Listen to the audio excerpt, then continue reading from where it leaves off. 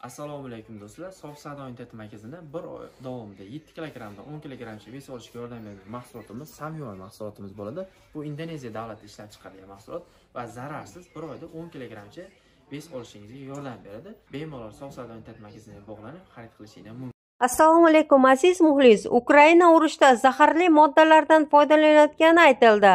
Ukraina urushda zaharli kimyoviy moddalardan foydalanmoqda.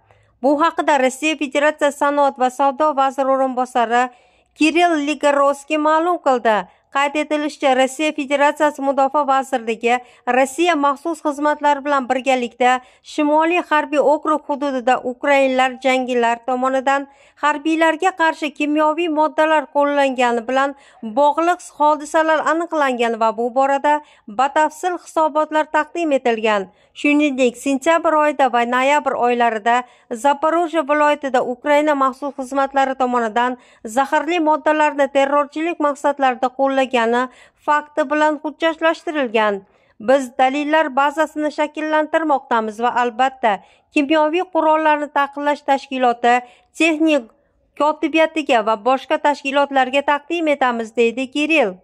Vazir o'rinbosarining ta'kidlashicha rossiya federatsiyasi texnik kotibiyatni ukraina qurolli kuchlari tomonidan ishlab chiqarilgan turli zaharli moddalar yordamida kimyoviy provokatsiyalarni amalga oshirish shuningdek ukraina qo'shinlarini joylashtirish va harbiy amaliyotlar uchun ulardan foydalanish rejalari haqida doimiy ravishda xabardor qiladi.